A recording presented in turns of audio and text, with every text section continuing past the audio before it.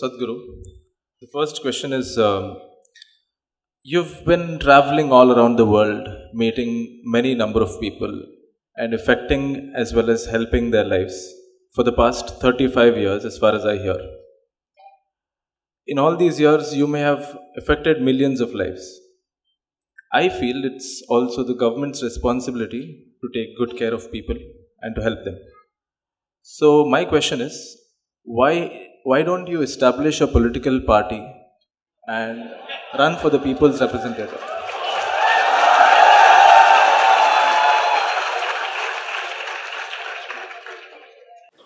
Well, uh, we have a very distorted perception of what is politics, unfortunately, largely in the world, particularly in India. If something, if you do something wrong, we say, oh, he's doing politics. See what he's trying to push me into But the real perspective of this is, politics means it's about policy making. That means you set the direction for the nation as to where the nation should go, what it should achieve, where people should get, essentially directing the ship. Right? If you look at a nation as a journey, we are going somewhere, somebody has to captain it. Well, I think it is one of the most significant things that needs to be done in the world in a most responsible and sensitive way. Well, unfortunately, a whole lot of them have not earned this. That today, it's become like this, if you utter the word politics, it looks like we are talking about something dirty. It's, it's almost like that.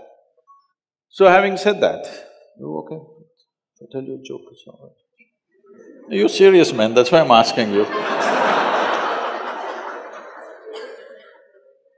this happened. Three men who are in their older age who are retired. One was a, a surgeon, another was a general, another was a politician. They met in the old age home. And uh, they had a golf game, it went all bad. So they thought at least they'll have some good gossip. Bad game, what to do? At least good gossip. So they started this and then they said, uh, the surgeon said, of all the professions, the most important profession is that of a surgeon because it is only by cutting the Adam's one rib and making woman out of it that this whole world happened. So what can be more significant than that? Surgeon's profession is the most important profession in the world. So the general said, oh come on, it is clearly said that there was chaos and then order had to be brought in before this rib surgery happened.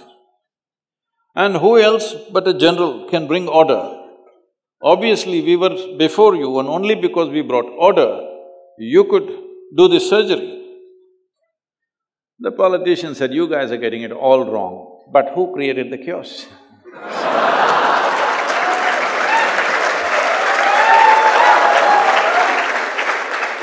well, that's not how it should be. That's not what politics means. Politics means sorting out problems, not creating problems. So, why should I not start a new party? You didn't tell me to join the existing ones at least, that's a good thing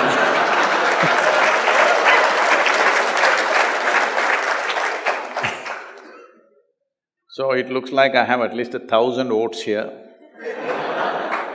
but that's not going to get you anywhere. But that's not the point. The point is this, there are two dimensions to human life. One is arranging the external situations, which is in a way policymakers' business. And another is settling the interiority of the human being. In this culture, we have always held settling the interiority of the human being far more important than arranging the outside. Because however well you arrange it, still if you are not organized well within yourself, still your life will be a mess.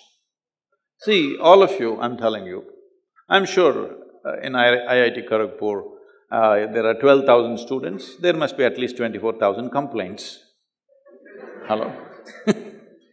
but the fact of the matter is, compared to any other generation ever in the history of humanity, you and me are living in the highest level of comfort and convenience and empowerment, isn't it so? Isn't it so? But still, no generation has ever whined the way we are whining all the time.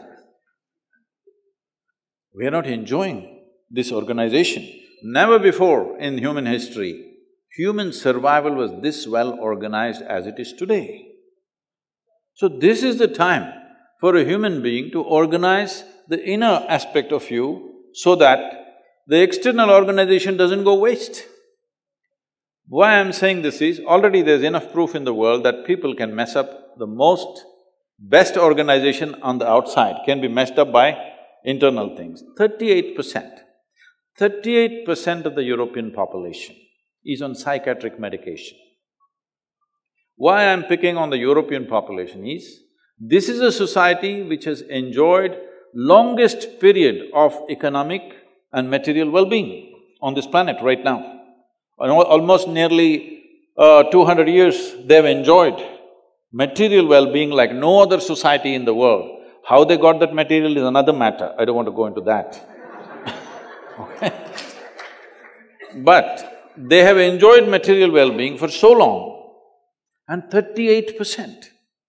If you just withdraw a few medicines from the marketplace, the nation or the… all those nations can go crazy tomorrow morning. Yes? If pharmaceuticals go on strike, really, everybody goes crazy, how's this? You call this well-being? So one must understand, just organizing the external situations is not growing, going to bring human well-being. You can organize comfort, you can organize convenience, you can organize survival, you cannot organize well-being. Well-being is something that you have to earn within yourself. I've taken it upon myself to bring human well-being, because this is inner organization of yourself. This is very important, otherwise all the bounty that the science and technology has offered us will go waste. And this bounty has not come free. Let's say we're sitting in the comfort of this hall right now. If this hall has to come up, come up, every worm, insect, bird, animal, plant, tree has suffered, isn't it? Yes or no? For every convenience that you and me are enjoying, haven't every other creature on this planet suffered immensely? Hello? And when we cause so much suffering, at least we must be well. We sit in this comfort and we're miserable, we had no business to cause suffering to them, isn't it? In pursuit of our well-being, we did all this in the world. Are we really well? We are the most comfortable generation ever. But can we claim we are the most joyful generation ever? Unfortunately, no, isn't it? That's what I'm trying to change. So, uh, politics, there are so many people eager to do, we need to change them.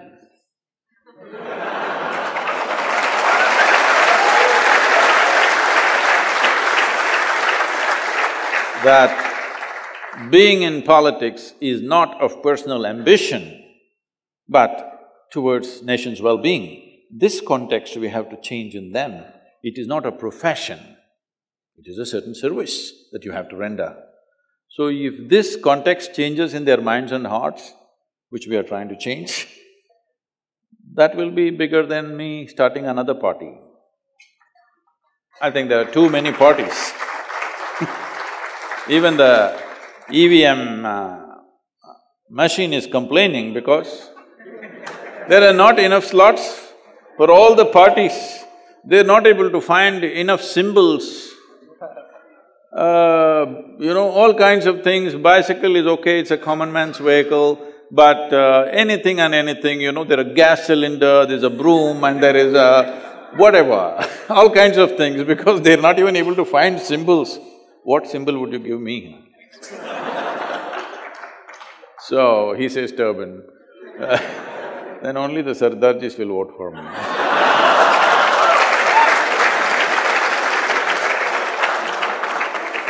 So there is no need for one more political party. I would say there should be reduction of political parties in the country. Two, two or three or four, not uh, two hundred parties. It's just confusing the people, they don't even know whom to vote for. Because your chacha has started a party, how can you not vote for it? you you don't know what is his ideology, you don't know what is his policy, what is his vision for the nation, nothing, but he's your chacha. so if I start, all the millions of people who are in some way drawn to me, they will not know what is my vision, why I want to start this political party. Sadhguru, we will vote him. I don't want to bring that nonsense